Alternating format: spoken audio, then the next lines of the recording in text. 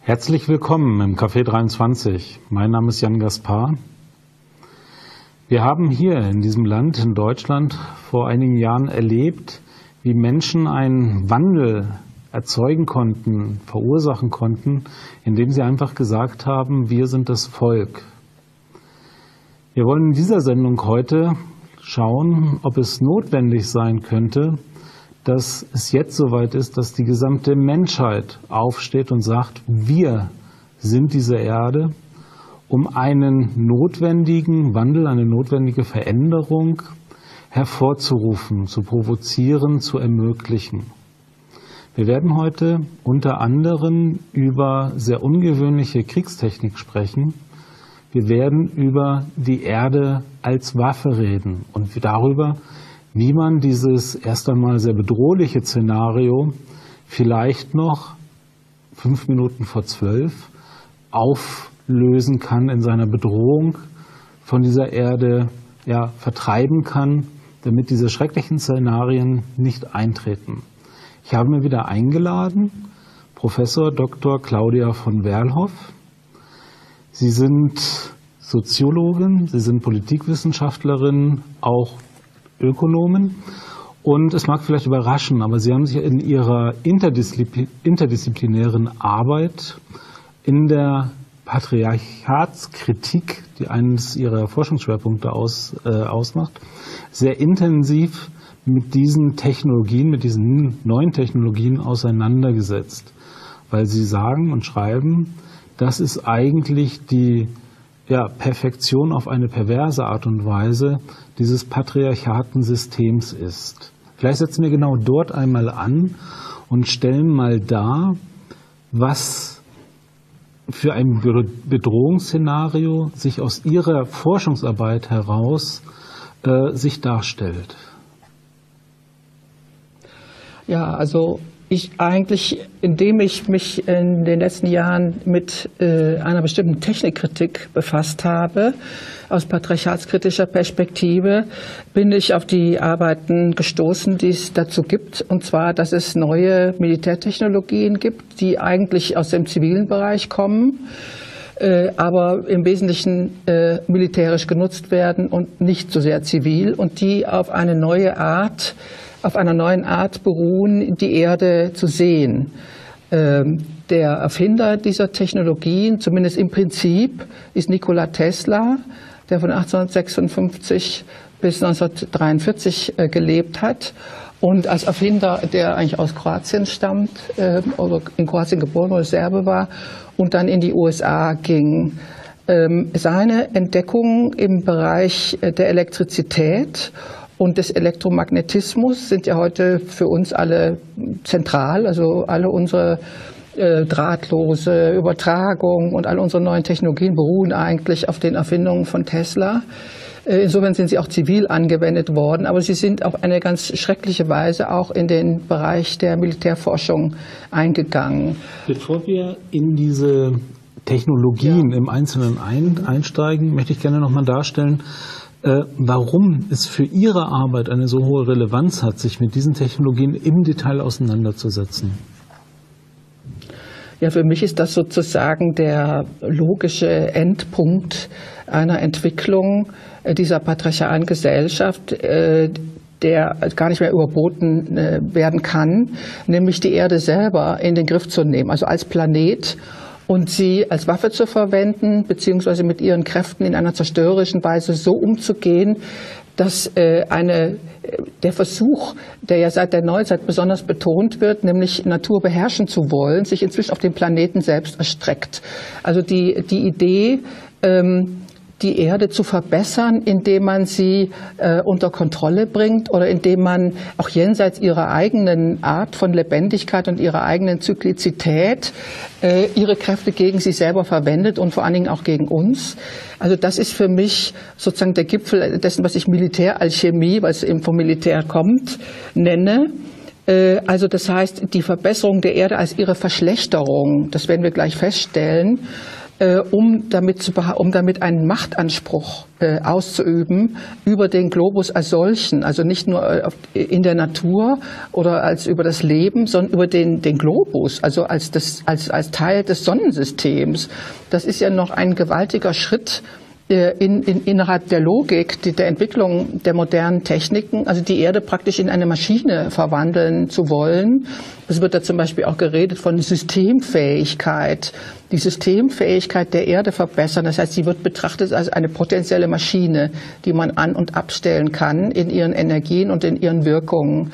Das ist das Ziel einer Clique und Elite von Militärforschern und Militärs, die sich dieser Technologie bemächtigt haben. Im Übrigen äh, zuerst zunächst einmal die Russen, viel früher als die Amerikaner, äh, weil die Amerikaner de, dem, de, den Tesla-Technologien in ihrer Mehrzahl erstmal nichts abgewinnen konnten. Da waren die Russen früher dran. Also das ist eine ganz interessante auch Entwicklung zwischen Ost und West von der die meisten Leute nichts wissen, weil äh, ihnen unklar ist, wie diese Technologien funktionieren. Es sind wirklich neue Technologien, die auch einem, einem anderen Verständnis äh, dessen äh, beruhen, was eigentlich der Planet Erde ist.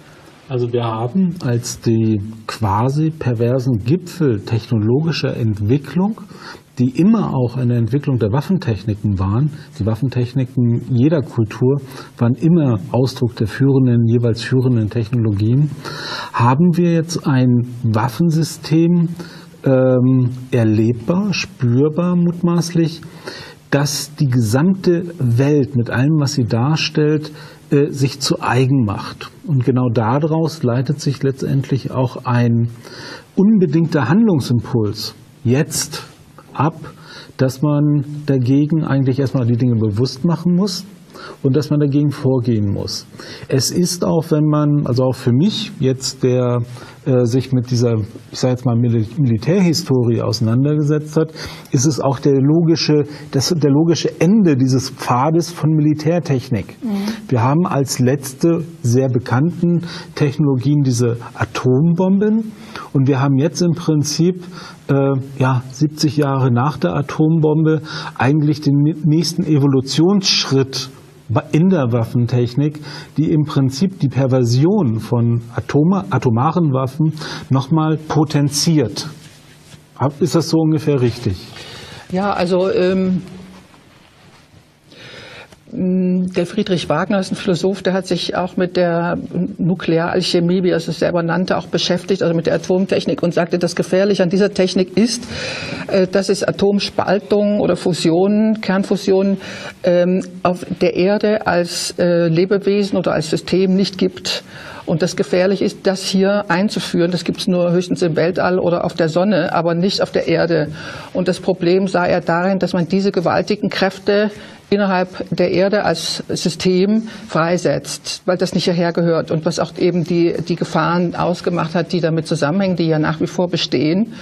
Und die, es gibt aber inzwischen eine Weiterentwicklung von Technologien nicht atomaren Charakters, aber mit äh, einer mindestens ebenso großen Massenvernichtungswirkung, die danach entstanden sind, aber die durchaus auch im Zusammenhang mit den Erfahrungen äh, aus der Anwendung der Atombombe in der Atmosphäre und unterirdisch. Es ist in der, hat ja ungefähr 1600 atomare Versuche auf der Erde gegeben, auch da anknüpfen und aber auch explizit versuchen, ähm, eine ähnliche Wirkung, also von, dem, von der Zerstörung her zu produzieren. Beim Militär geht es ja um Zerstörung und nicht um was anderes, wie die atomare Technik. Aber die atomare Technik eben für alle sehr gefährlich.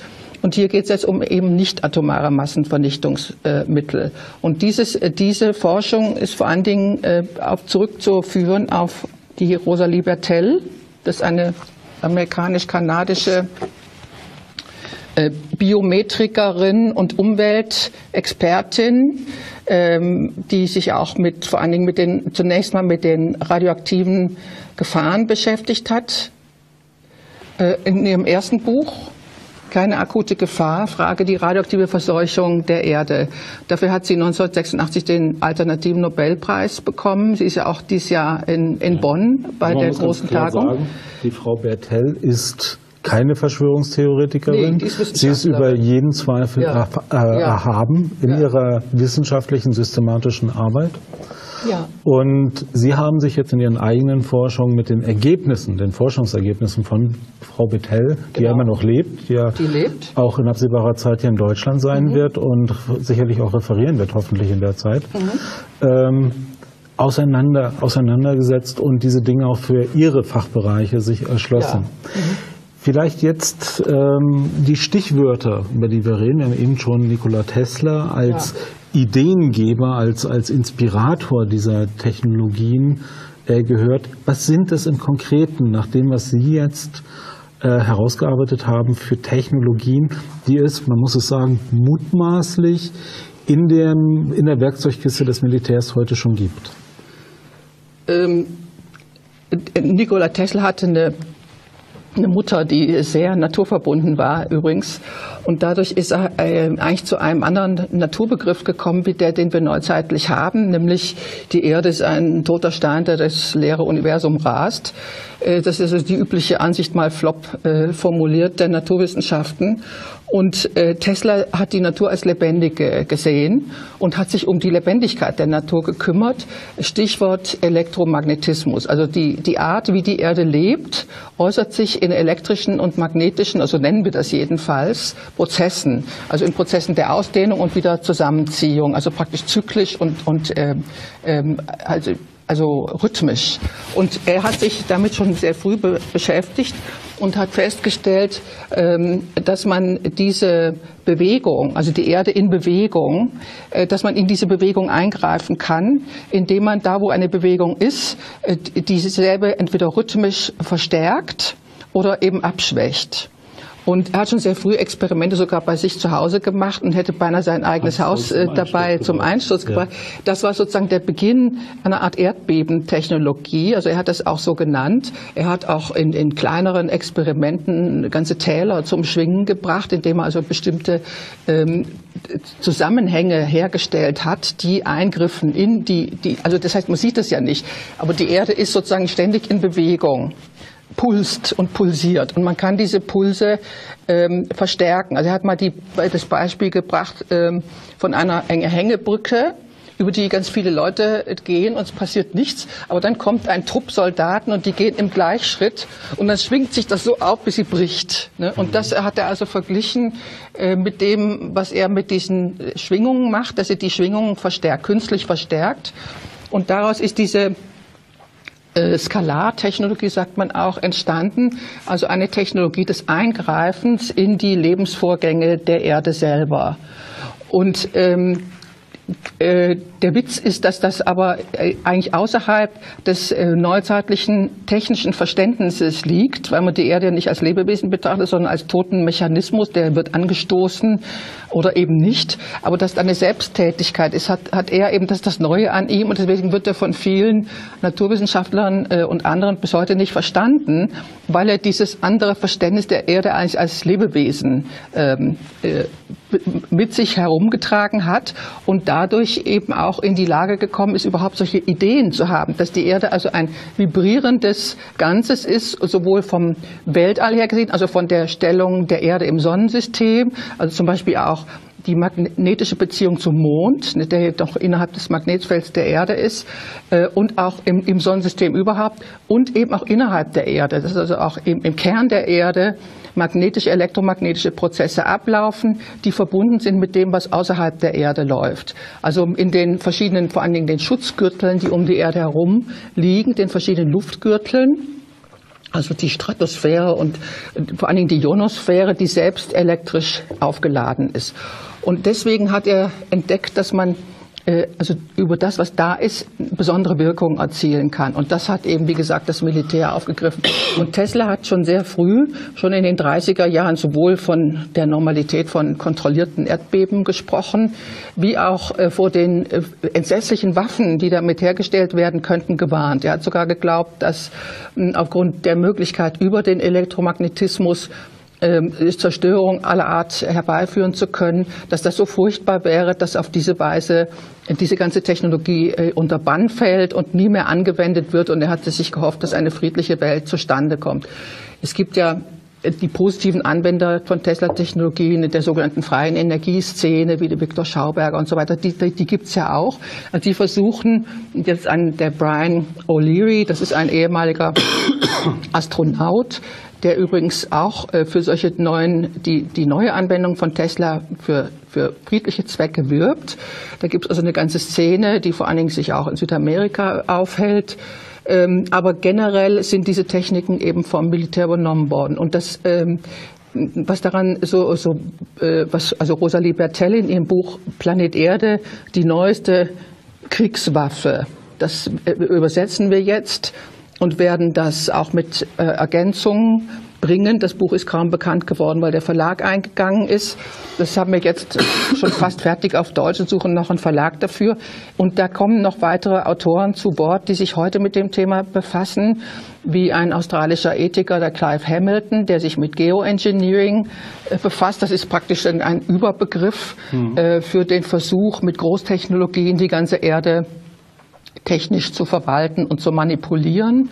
Da gehören sehr viele verschiedene Technologien dazu, die auch als, äh, generell als friedlich dargestellt werden und jetzt groß im Aufwind sind. Also zum Beispiel die Royal Society äh, wird dazu eine große Tagung machen im Herbst. Und die UNO hat sich schon damit beschäftigt. Da ist die Rosalie Bertell auch zur Anhörung gewesen im Übrigen. Also das heißt, das ist jetzt ein Gebiet, das jetzt plötzlich in die Öffentlichkeit kommt. Äh, und da geht es darum, dass man sagt, wir haben den Klimawandel und wir müssen was tun. Und äh, über die, die Emissionen äh, zu, zu, zu verhindern, also Kohlenstoffemissionen zu verhindern, das klappt nicht politisch, wie Kopenhagen gezeigt hat letztes Jahr. Deswegen müssen wir andere Mechanismen ergreifen, um die Erde vor zu viel Sonneneinstrahlung zu schützen und dadurch sozusagen das wieder wettzumachen, dass sie im Inneren erhitzt wird. Also das sind ganz verrückte Projekte, die es da gibt, aber die werden jetzt langsam sozusagen salonfähig. Nur äh, wird nicht dazu gesagt, dass das äh, immer das Militär dahinter steht. Also es wird zur Rettung des Planeten aufgerufen. Zeichnen Sie einmal den Verdacht, den es in der wissenschaftlichen Welt gibt, was das Militär mit diesen von Tesla inspirierten äh, Technologien treibt. Welcher böse Verdacht ist da in der Welt? Ja, so was Tesla selber von vornherein gesagt hat, der hat sogar gesagt, dass man, also wenn man, also ich, vielleicht fange ich äh, vorher an, dass ich erstmal sage, dass schon bei den Atomversuchen ähm, Schäden an der Erde äh, stattgefunden haben, indem nämlich äh, der Magnetgürtel geschwächt wurde. Also inzwischen hat die Erde einen schwächeren Magnetgürtel als vorher. Also die Bertel sagt, die Erde wackelt. Sie ist also nicht mehr richtig auf ihrem Kurs. Also der, der Magnetgürtel ist geschwächt und der hält ja auch praktisch alles ab, was aus dem Kosmos schädlich auf das Erdenleben wirken könnte, wie ultraviolette Strahlen. Die sind zum Teil schon im Vormarsch, weil ähm, durch die verschiedenen Atomversuche und auch die Raketentechnik, ähm, äh, zum Beispiel das Ozon, der Ozongehalt, äh, also der Ozongürtel äh, mit Löchern versehen ist. Äh, sie sagt, wenn der doppelt so groß ist, also ungefähr nach 300 ähm, weiteren Raketenversuchen, wäre der Ozongürtel so geschwächt, dass praktisch nichts mehr wächst auf der Erde. Also es ist eine ganz gefährliche Situation. Man versucht ja auch geoingenieursmäßig den, äh, das Ozonloch zu stopfen, was natürlich nicht wirklich geht. Also da sind zum Beispiel ähm, schon Schäden angerichtet worden, bevor man überhaupt, das ist die Kritik von Rosalie Bertell, wusste, was die verschiedenen Luftgürtel um die Erde herum eigentlich bedeuten für sie, also sowohl in ihrer elektrischen wie in ihrer magnetischen Ausprägung. Und man hat dann angefangen, nachdem auch Tesla schon festgestellt hat, dass die Ionosphäre, das ist ein Luftgürtel in ungefähr 80 bis 100 Kilometer Höhe über der Erde, eben selber elektrisch geladen ist. Also Ionos, mhm. Ionosphäre heißt es deswegen auch, sich eben sehr eignet für Leiter als Leitmedium. Deswegen für alle Kommunikationswissenschaften und Militärkommunikationstechnologien also sofort angepeilt wurde und auch die ersten großen Installationen, die dann allerdings erst sehr spät in den USA, das HARP ist ja eine späte Entwicklung, erst Anfang der 90er Jahre, sich genau eben mit der Erforschung der Ionosphäre beschäftigen, aus militärischen Gründen. Und das, was, was äh, dann Tesla damit zu tun hat, ist, dass hier systematisch die, ähm, die elektromagnetischen Bedingungen um die Erde herum beeinflusst werden durch äh, diese riesigen Antennentürme und Wälder, die da stehen. Also in, in, äh, in, Harp, in Alaska stehen ungefähr 180 solche Antennentürme, die also systematisch äh, gepulst, also pulsierende elektromagnetische Wellen, die künstlich hergestellt werden, mit atomarer, also aus Atomkraftwerken gespeist etc., in den Himmel schießen äh, zu, gleichzeitig. Und entweder sie äh, können dadurch, also in diese Gürtel, die um die Erde herum sind, regelrechte Schneisen und, und wie mit, sie sagt, wie mit einem Mikrowellenmesser, Schneisen schneiden, durch die dann die Raketen fliegen können zum Beispiel. Also Löcher in den Himmel schießen nennt man das auch. Und das andere, was ich, äh, was besonders wichtig ist für alle weiteren Technologien, ist die Aufheizung der Atmosphäre, also der Ionosphäre. Die Apparate heißen auch Ionospheric Heater, also Ionosphärenheizer. Das sind also Heizungen, elektromagnetisch, künstlich elektromagnetische Heizungen, die nachher das Plasma, das, also das Plasma ist praktisch eine äh, extrem elektrisch geladene Luftschicht, äh, die weiter aufheizen, bis sie sich krümmt zu einer Art Linse oder Reflektorspiegel, der die ankommenden Wellen wieder zurück auf die Erde schickt. Man kann das dann auch verschieben, sodass also die, jede beliebige Punkt auf der Erde erreicht werden kann über den entsprechenden Winkel. Und diese Wellen, die da geschickt werden, also die Scala Waves und so weiter, dann wieder auf Punkte der Erde treffen, wo sie fürchterliche Zerstörungen anrichten, weil sie mit einer unheimlichen Energie daherkommen, auch indem eben durch Resonanz der ganze Effekt noch gesteigert wird. Und dadurch können sowohl Erdbeben produziert werden, wie Vulkanausbrüche, wie auch die Wetterbedingungen verändert werden äh, können dadurch, also man kann sowohl Dürren wie Überschwemmungen auslösen und vor allen Dingen furchtbare Gewitter auf Fronten festhalten, damit sie sich nicht verschieben, Wirbelstürme und so weiter. Also man kann Wetterexperimente machen, ähm, man kann ähm, äh, unter der Erde, also in, man nennt es auch Deep Earth Tomography, also tiefen Erdentomographie, ne, äh, um zu sehen, was ist innerhalb der Erde. Das wird zum Beispiel für die Ölförderung auch, ist das interessant. Also die Ölindustrie verwendet ja auch Erdbebentechnologien, allerdings geringeren Ausmaßes, äh, für, um zu gucken, wo sind noch Ölfelder und wie kommen wir da dran. Ähm, also das hat auch wirtschaftliche Gründe, ne, nebenbei bemerkt. Aber man kann äh, wirklich, also mit den Kräften der Erde selber, also dem Elektromagnetismus, ähm, einwirken auf die Bedingungen auf und unter der Erde und über der Erde. Und zwar in einem Ausmaß, das von Natur aus nicht möglich wäre, weil von Natur aus ja nicht riesige Antennenwälder äh, künstlich produzierte Energie in den Himmel schießen. Was sind die Belege für die Existenz dieser Art von Technologien? Ja, also die, die Frau Bertell und auch andere Kollegen äh, in Kanada und in Australien und so weiter, die auch in unserem Buch dann noch zu Wort kommen sollen, in der, in der Neuauflage, auch der deutschen Auflage, ähm, sind ja, beschreiben einfach die Entwicklung dieser Technologien. Es gibt also Abkommen, zum Beispiel, äh, Bertell hat also festgestellt, dass die Russen und die Amerikaner schon in den 60er Jahren äh, ein Abkommen über den, die, das Auftauen des Nordpols getroffen haben, gemeinsam. Also nicht etwa im Feindschaft zueinander, weil sie an die Bodenschätze unter Wasser kommen wollen. Und wir, wir sehen ja, dass der Nordpol äh, sehr schnell auftaut. Zum Beispiel die größte Erderwärmung ist in Alaska selber also in den nördlichen Gebieten, wo auch die meisten dieser Installationen sind, weil man da schneller durch äh, die verschiedenen Luftgürtel kommt, die an den Polen sozusagen geringere Höhe aufweisen. Ähm, da ist sieben Grad Erderwärmung in Alaska, also da ist schon der Permafrost am Auftauen und die, die Türme fangen vielleicht schon bald an zu schwanken. Das ist dann so ein kleiner Nebeneffekt. Und ähm, also die Russen, Amerikaner sind schon dabei, mit vor allen Dingen elf Wellen. Das sind äh, Low-Frequency Waves, also besondere niederfrequente Wellen, die überall hinkommen, weil sie den Erdwellen am meisten ähneln. Die kommen also überall durch, auch durch den gesamten Erdkern durch, auf der anderen Seite wieder raus äh, und werden durchgelassen. Also mit denen wird auch dieser Auftau Experiment äh, gestartet, wo keiner darauf achtet im Übrigen, was dann ob der Golfstrom dadurch ähm, verschoben wird äh, und ob dann alle möglichen Küstenstädte untergehen in, den, in dem erhöhten Meeresspiegel. Also es gibt Abkommen darüber, die untersucht worden sind und es gibt halt ganz viele Protokolle. Es gibt auch Aussagen zum Beispiel von dem William Cohen, der war mal Verteidigungsminister der USA, der also schon lange gewarnt hat davor, dass irgendwelche Extremisten Wetterkriege führen würden und äh, Erdbeben auslösen würden und Vulkanausbrüche. Also das heißt, diese Sachen sind schon längst bekannt, seit Jahrzehnten eigentlich bekannt, nur uns nicht. Und äh, das Interessante ist, äh, dass ähm, wie gesagt, seit in den letzten 50, 60 Jahren damit experimentiert wurde und äh, dass das alles auch nachvollziehbar und dokumentiert werden kann, was hier in dem Buch zum Beispiel geschieht mhm. oder was bei den anderen Kollegen geschieht. Jetzt klingt das, äh, weil es eben so bisher nicht in der Realität angekommen war oder ist, äh, erst einmal verrückt, total verrückt, was da möglich sein soll und was da äh, ja. passiert und wo man sich dann auch in der zweiten Wirkung fragt, äh, wie kommen Leute auf so verrückte Ideen, so etwas überhaupt zu wollen. Ja, eben. Ja. Ähm, was ist für Sie in Ihrem, in Ihrem Forschungsalltag der Moment gewesen, dass Sie gesagt haben, das hat eine unglaublich hohe Relevanz für unsere Gegenwart.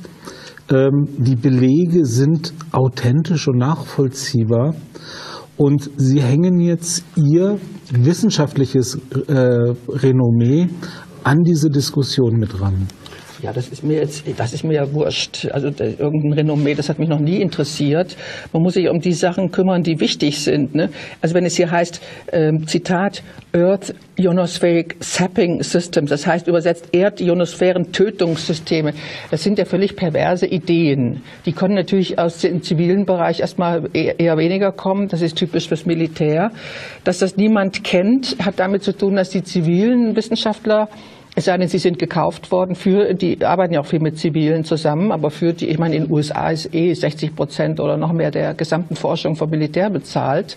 Also die anderen Wissenschaftler, so wie ich, die nichts damit zu tun haben, wenn die sich dafür interessieren, werden komplett lächerlich gemacht, ne, weil man das eben nicht will.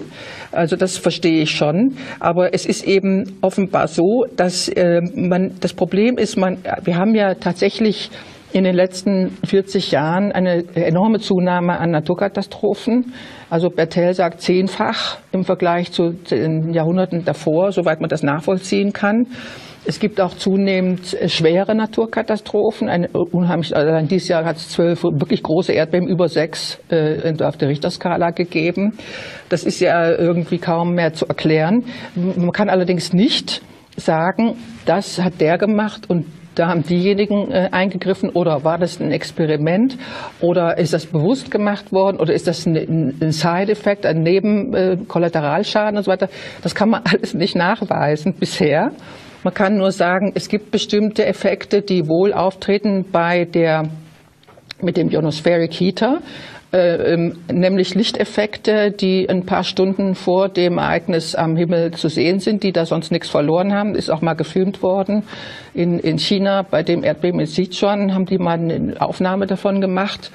Und äh, auch bei Haiti soll übrigens so ein Lichteffekt beobachtet worden sein, der dadurch entsteht, dass diese aufgeheizten Partikel dann eben aufleuchten. Das ist was sonst also als, deswegen heißt das ja auch HARP, heißt ja ähm, High Frequency Active Aurora Research Program. Also Aurora, das ist das Nordlicht.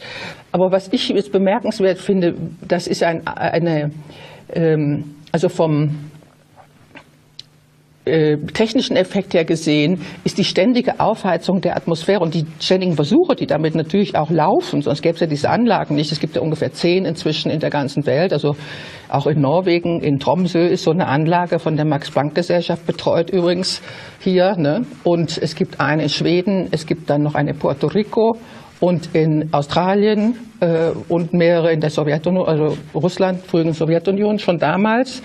Äh, dass die tatsächlich aufheizen. Also ich frage mich immer, wenn die Leute von, äh, von einer Aufheizung des Planeten reden und von einer Erderwärmung, warum das nicht mit berücksichtigt wird. Wer weiß, zu welchem Prozentsatz das dadurch zustande kommt. Ist Ihnen bei Ihrer Arbeit oder aus den Berichten von Frau Bertel äh, jemals ein Rechenschaftsbericht darüber in die Hände gefallen, was an diesen Forschungszentren tatsächlich für Experimente laufen und was dort für Ergebnisse erzielt werden. Ja, es gibt ja, wir können ja im Internet das auch gucken, es gibt ja auch sie, hat, hält da Vorträge, es gibt also, die Harp-Leute sind ja, in Alaska sind ja auch befragt worden, es gibt x Filme, dann gibt es noch den Nick Begic, der dazu forscht, äh, der am, am, meisten eigentlich, der sein Leben lang dem, dem, dem eigentlich gewidmet hat, sein Leben, dem er ist eigentlich ein Arzt ursprünglich, also ist übrigens äh, auch nicht alles Naturwissenschaftler, ne?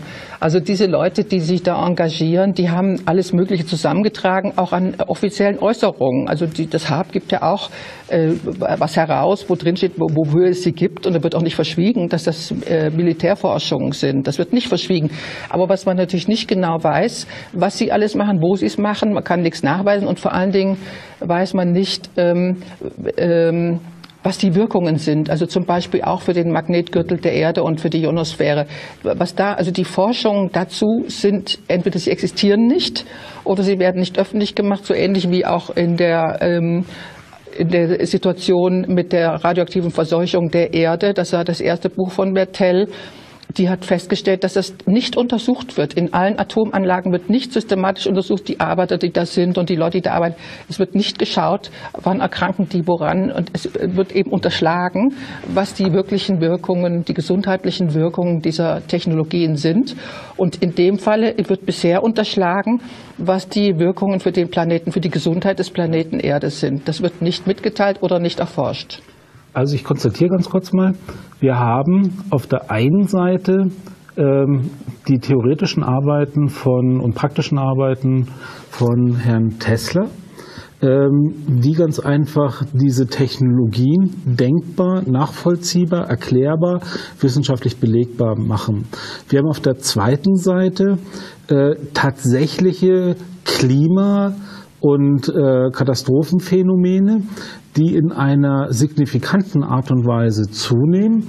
Wir haben diese Apparaturen, die offensichtlich nach Tesla-Systematik angelegt sind, die für Waffensysteme eingesetzt werden, über die aber keine Rechenschaft abgelegt wird, was tatsächlich mit ihnen passiert. Und wir haben diese innere Logik der Waffentechnik aus, der, aus den frühen archaischen Völkern bis in die Gegenwart, die einfach diese, dieses Verlangen der Militärs nach solchen Technologien wahrscheinlich macht. Daraus lässt sich sicher eine Relevanz und eine Wahrscheinlichkeit hochrechnen für diese Art von, ich sage jetzt mal, Klimawaffen, Erdbebenwaffen ähm, und auch die, die Befürchtung realistisch erscheinen, äh, dass sie bereits benutzt und gegen die Menschen mutmaßlich auch eingesetzt werden. Jetzt ist die Frage, das macht mir, das macht sicherlich vielen Menschen erst einmal äh, begründet Sorge, auch Angst. Wir müssen jetzt einmal darüber sprechen, wie kann man diese Systematik letztendlich auflösen. Vielleicht, mir kommt gerade noch, sollten wir an dieser Stelle einen kleinen Exkurs machen, weil für mich jetzt als Publizist und als Journalist gibt es ja noch einen weiteren Beleg dafür, was diese Relevanz eigentlich unterstreicht. Und ich weiß aus unseren Vorgesprächen, dass Ihnen genau das Gleiche passiert ist wie mir in meinen investigativen Recherchen. Sie haben ja ein ganz konkretes Erlebnis, als Sie sich das erste Mal auch öffentlich zu dieser Thematik in einem Interview geäußert haben. Was ist da mit Ihrem Leben passiert im Anschluss, als Sie gesagt haben, es gibt diese Diskussion überhaupt in der wissenschaftlichen Welt und wir müssen uns damit auseinandersetzen? Was, was wurde da mit Ihnen gemacht? Ja, eben dasselbe, was Frau Bertell auch beschreibt, was anderen zivilen Wissenschaftlern passiert, die sich da äh, für interessieren. Sie werden lächerlich gemacht. Das hat man mir, also mein Institut hat sich von mir distanziert, öffentlich ähm, aber gar nicht mit mir geredet, ne, so getan, als müsste das sein, wo, wozu ja kein Grund bestand, weil ich ja als Privat ich habe nicht als Institut gesprochen in dem Interview, sondern als Privatperson. Also es war eine ganz merkwürdige äh, Diffamierung meiner Person, die Folge, und später sogar eine richtige Kampagne äh, gegen mich ich hätte Sachen behauptet, die ich gar nicht behaupten konnte. Also ich habe dann angefangen zu sagen, so jetzt nach dem ersten Schreck und der, der ersten Krankheit, die da das, auf den Fuß folgte. Das jetzt, war damals ein Interview für den Standard in Österreich. Da ging es konkret dann um das Erdbeben in Haiti. Und da gibt es ja die Diskussion, dass das eins von diesen künstlich produzierten gewesen sein könnte. Das wird in, in der Pravda diskutiert, das wurde bei Chavez in Venezuela, wo ich ja lange gelebt habe, diskutiert. Und das habe ich erwähnt. Und das wurde dann in der zweiten Runde aber gleich gegen mich in, in einer Weise verwendet, als hätte ich gesagt, die, das US-Militär hat Haiti hochgehen lassen. Das ist natürlich Blödsinn gewesen, weil ich das ja gar nicht sagen hätte, hätte können. Das war also wirklich eine Kampagne gegen mich, die mich total mundtot und verschreckt zurücklassen sollte. Und ähm, ich habe dann erstmal mich gewundert, bis ich das dann verstanden habe, dass ich de denke mir, ich lasse mich jetzt nicht einschüchtern, sondern ich werde mir jetzt die Ärmel hochkrempeln. Und dann habe ich gesagt, jetzt will ich aber mal wissen, was da wirklich los ist. Und dann bin ich eben auf die Frau Dr. Bertell gestoßen und ihr Buch.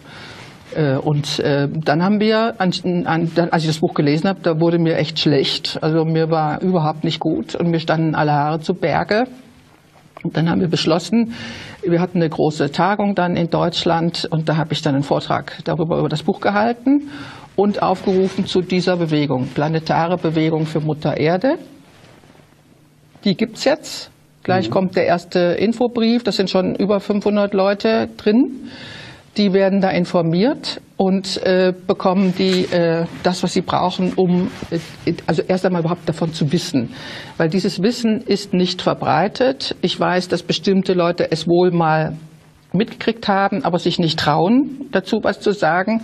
Also mir ist das egal. Inzwischen bin ich über die Angst weg und durch sie durch und es ist mir total wurscht, sondern ich habe, also mir schlägt mein Herz für Mutter Erde, also im buchstäblichen Sinne, also diesen auch alten Begriff zu nehmen, ähm, der uns weggenommen worden ist. Also wir haben nicht Angst vor der Erde zu haben, sondern vor, vor dem, was mit ihr geschieht und haben uns auf ihre Seite zu stellen. Ich muss mal ganz kurz einen Schritt zurück. Sie haben ähm, in diesem konkreten Erleben, Sie haben dieses Interview gegeben, ähm, es gab dann eine öffentliche ja, Kampagne gegen sie, um sie zu diskreditieren.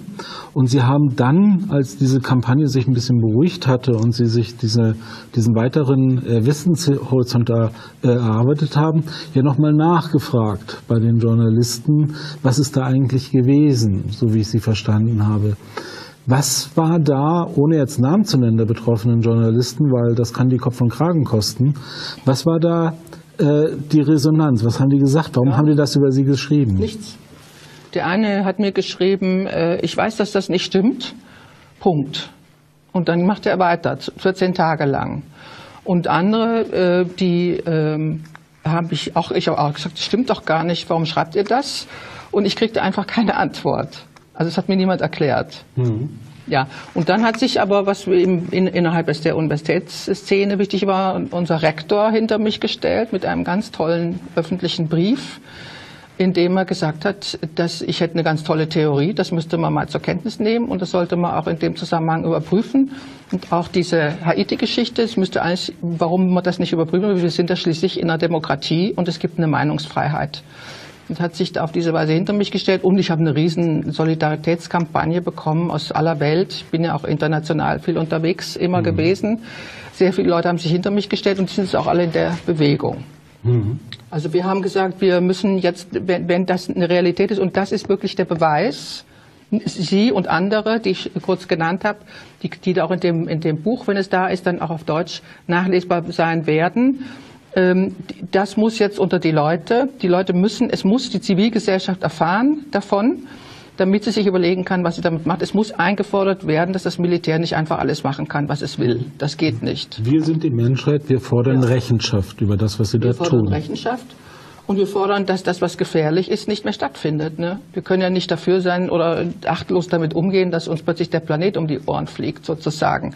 Das können wir äh, uns nicht antun und auch der Erde nicht. Die Erde ist ein Lebewesen. Ne? Die Gaia-These kennen ja inzwischen alle und eben kein toter Kloß irgendwo im Weltall. Und wir, wir, das Herz schlägt mit das ist eben das, was wir hier feststellen, was ich an mir im eigenen, ich habe ja mein eigenes Erdbeben erlebt, da in mir, ne, vor, vor lauter Horror und habe gemerkt, wie das, wie das aber diese Nähe dazu zustande kommt, zu diesem Planeten. Also ich habe vorher die Erde nicht als Planet gesehen.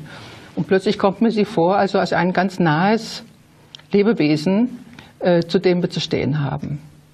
Jetzt ist es ja so, dass wenn wir darüber reden, dass diese Systeme benutzt werden als Waffentechnik, eine Waffentechnik ihre, ihr Szenario, ihr bedrohliches Potenzial eigentlich nur dann entwickeln kann, wenn man es auch als Waffentechnik erkennt. Was glauben Sie, warum ist es jetzt noch geheim, wird geheim gehandelt? Und wann wird der Zeitpunkt sein, wo man auch, so wie man irgendwann die Atomraketen vorgezeigt hat, äh, diese, diese Bedrohung auch real in die Welt äh, demonstrieren wird? Ich glaube, das soll ja gerade verhindert werden, im Moment jedenfalls sodass also die Katastrophen, die stattfinden, eben als Naturkatastrophen ähm, wahrgenommen werden. Und wir, wir, können heute überhaupt nicht mehr sicher sein, welche Katastrophen Naturkatastrophen sind und welche nicht. Das ist, kann mhm. niemand mehr nachweisen. Aber wir sollen wohl davon ausgehen, das sind Naturkatastrophen. Ich denke auch, es ist eigentlich wie am Beginn der Neuzeit, als uns gesagt wurde, die Natur ist dämonisch und furchtbar, genau wie die Frauen als Hexen. Ne? Und dies ist gefährlich und wir müssen die äh, beherrschen. Das ist ja der, der damit fing ja die ganze Natur Naturwissenschaft an. Und an dem Punkt sind wir heute wieder. Der ganzen Welt wird demonstriert, wie gefährlich die Natur ist. Ja, die Leute verlieren ja alle ihren Glauben an Mutter Erde, die ganzen südlichen Völker, die ja das noch glauben, die ja noch einen viel engeren Bezug zur Natur haben als wir hier in Europa die, die fangen jetzt alle an zu sagen, mein Gott, in Myanmar mit der Überschwemmung und dann alle der Tsunami und all diese Dinge. Um Gottes Willen, die Natur ist ja viel schlimmer, als wir bisher wussten, fangen an Angst zu bekommen. Und genau das ist, kommt mir auch vor, das ist auch so eine Strategie, die dahinter stehen könnte. Ich weiß es natürlich nicht äh, damit die Leute also den, diesen ganzen technischen Maßnahmen des Geoengineering etc. zustimmen, um sich zu schützen. Da ist die Natur wieder die Böse und wir müssen uns vor ihr beschützen und so weiter. Ne? Und stimmen diesen Maßnahmen dann zu, die einfach die Macht des Militärs ins Unendliche vergrößern würden. Hm. Also im Prinzip geht es darum, Feindbild Mutter ja. Erde. Ja, äh, zu konstruieren, ja. um halt böse Stiefmutter jede jede Art von theoretisch möglicher Technik auch zu äh, manifestieren und letztendlich zu legitimieren mhm. in der Welt. Ja, und alles andere der Lächerlichkeit preiszugeben oder einfach mhm. zu zerstören. Ja. Sie haben Ihre äh, planetare Bewegung schon erwähnt. Mhm. Was ist von dieser, von dieser, äh, von diesem Kollektiv, das sich dort bildet, von diesem Handlungskollektiv, nenne ich es jetzt einfach mal, was ist von dem zu erwarten? Was haben Sie vor? Was möchten Sie ähm, konkret bewirken in nächster Zeit? Ich möchte eigentlich nur, dass so viel Information wie irgend möglich, äh, die wir ja zuhauf inzwischen auch sammeln weltweit, dass die herumkommt. Die Leute müssen erstmal wissen, wovon die Rede ist. Sie müssen Erklärungen dafür finden, was das ist. Sie müssen, also auch diese, was ist das für eine Technologie? Das muss beschrieben werden, auch für Leute, die keine Naturwissenschaftler sind. Es geht ja alle an. Wir sind ja alle betroffen. Also daran liegt mir, dass es einfach in die Öffentlichkeit kommt und von möglichst vielen Leuten erstmal gewusst wird.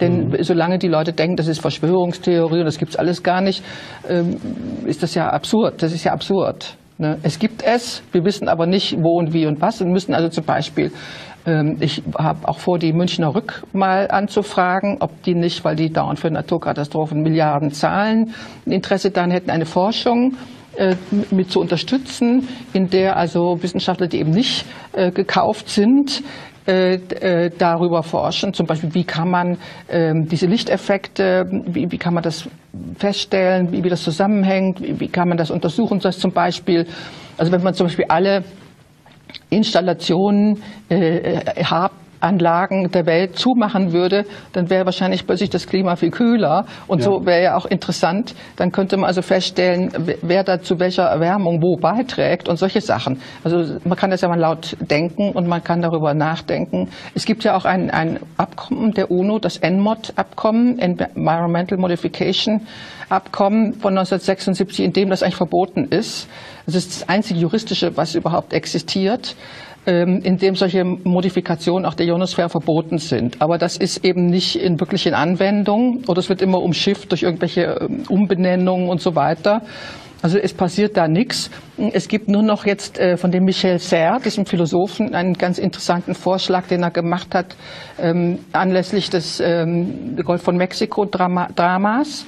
Äh, der hat gesagt, man müsste die Natur, also auch wieder als lebendig sehen, man müsste die Natur als Subjekt anerkennen äh, und in ihrem Namen gegen die Verletzung, die sie da erlebt hat, klagen können. Hm. Also die, die Natur würde als Subjekt praktisch äh, ein Rechtssubjekt, das klagen kann äh, gegen ihr, den Eingriff in, ihre, in, ihr, in ihr Leben. Das finde ich eine sehr interessante Geschichte. Ich werde ihn auch anschreiben, den Michel Serre, äh, der, weiß nicht, ob Sie den kennen, das, äh, ja. ja, die Nordwestpassage hat ja schon geschrieben, also da geht es ja jetzt auch darum, dass das Eis frei wird an, am Nordpol. Also solche Initiativen aufzugreifen und äh, mit solchen Leuten zusammenzuarbeiten, wie auch denen, die eben die Tesla-Technologie im friedlichen Sinne anwenden wollen. Hm. Was ist Ihre ganz persönliche Meinung über diese Technologie, die Sie dort äh, ja, für sich entdeckt haben, die Sie in Ihrer Arbeit jetzt äh, als, als ja, Acker, den es zu bearbeiten gibt, den es zu verhindern gibt, äh, letztendlich für sich ja, erschlossen haben. Was ist Ihre ganz persönliche Meinung über das, was Sie dort an Fakten, an Persönlichkeiten und an Szenarien äh, sehen?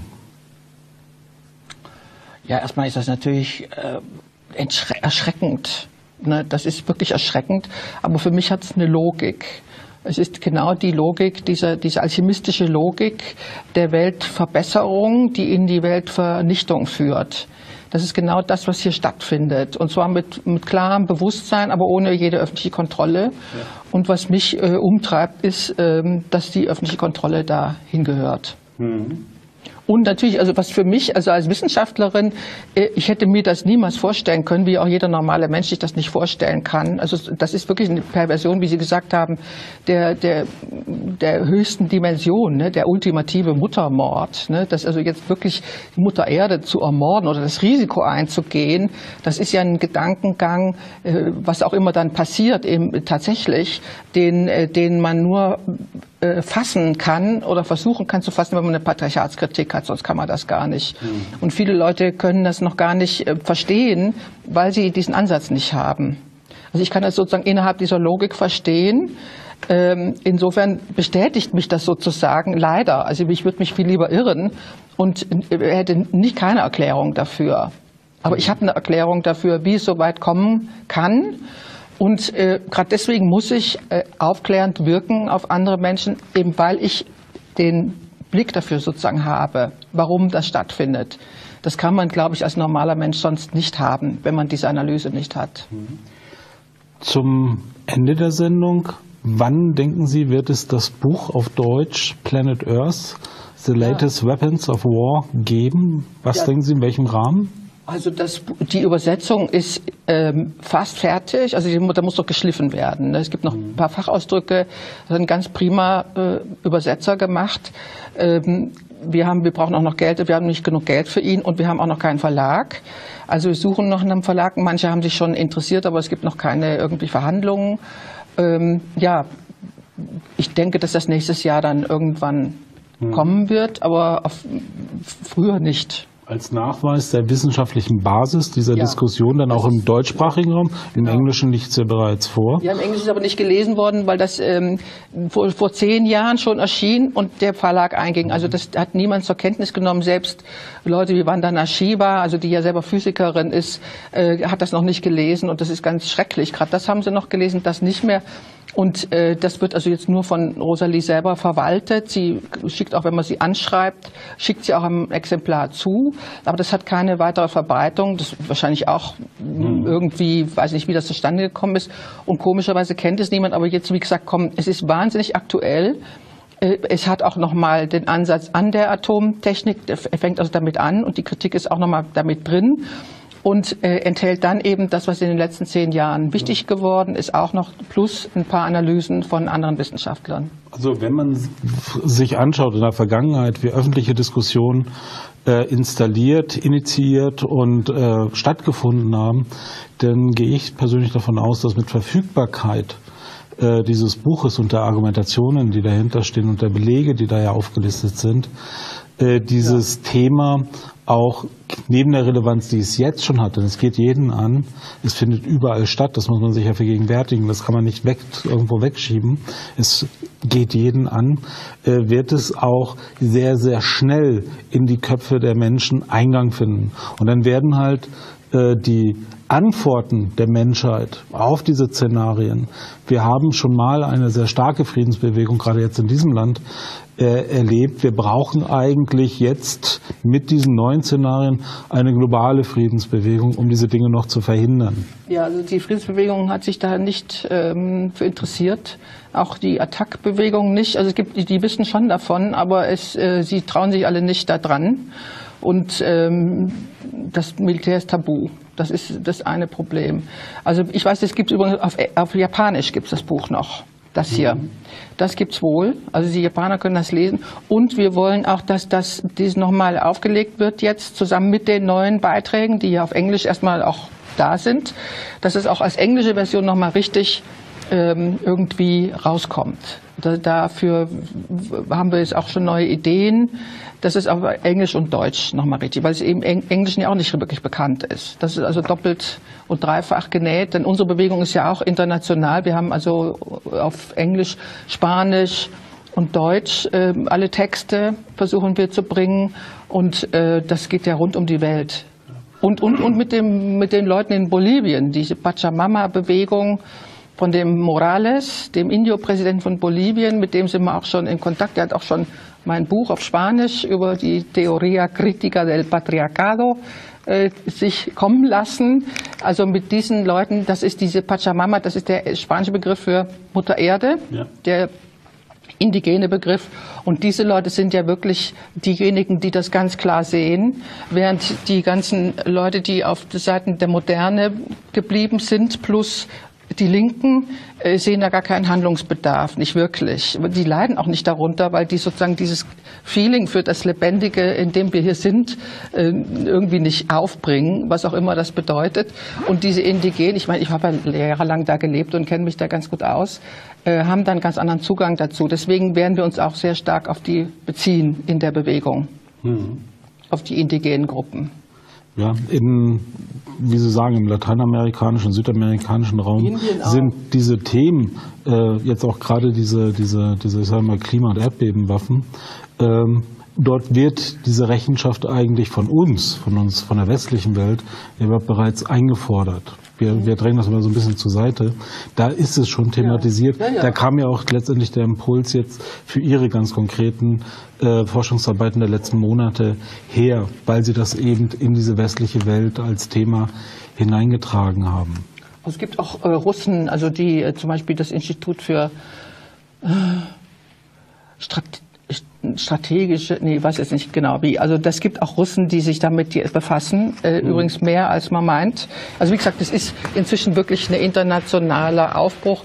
Aber was nicht, was in der Geoengineering-Szene und auch der Kritik daran noch nicht angekommen ist, sind die Tesla-Technologien. Das haben die nicht begriffen. Also es hat mich richtig erschüttert. Ich bin ja jetzt relativ neu in dem Ganzen. Erst seit Frühjahr, dass ich mich damit beschäftige. Es gibt Leute, die schon seit Jahren da sind. Und ähm, die, also zum Beispiel gibt es in Belgien und Griechenland solche Bewegungen. Die hatten auch eine große Tagung jetzt im Mai. Und die haben, die haben dieses Thema dieser elektromagnetischen, dieses Color Wave Technologies, haben die nicht mit drin. Ich bin schon beim Streiten mit denen. Ich verstehe gar nicht, warum die das nicht machen. Also die ganze Tesla-Line in der, in der Geschichte, die ganze Technologie wird einfach nicht gesehen oder wahrgenommen. Hm. Und das finde ich ganz komisch. Äh, da sehe ich so richtig meine Aufgabe drin, hm. Äh, das auch hm, konkreter zu fassen und, und erklärbar zu machen, weil die Rosalie macht das sehr gut. Äh, da kann man, ich fange schon an, Physik noch nachträglich zu studieren oder sowas. Also um das überhaupt rüberzubringen, was das ist, ne? dieses Arbeiten mit den lebendigen Kräften der Erde. Ich kann Ihnen versprechen, dass viele Kollegen aus dem Mainstream diese Sendung sehen werden. Das ist meine Hoffnung jetzt am Ende der Sendung, dass all jene, die Multiplikatoren sein können für diese Problematik, die wir heute dargestellt haben, äh, diese Problematik auch weitergeben. Wir haben keinen unendlichen Urheberanspruch auf dieses Thema. Dieses Thema muss multipliziert werden und wir fordern von hier ausgehend mit der Unterstützung oder für Frau von Werlhoff die, ja, die, die Rechenschaft, äh, die, die, die, äh, die, wir fordern Rechenschaft über die Verwendung dieser Tesla-Technologien in Einrichtungen wie Hab und ähnlichem. Woodpecker. Mhm. Alles klar. Herzlichen Dank. Mit diesem herrlichen Versprecher verabschiede ich mich. Ihnen alles Gute nach Hause. Bis zum nächsten Mal. Ihr Jan Gaspar.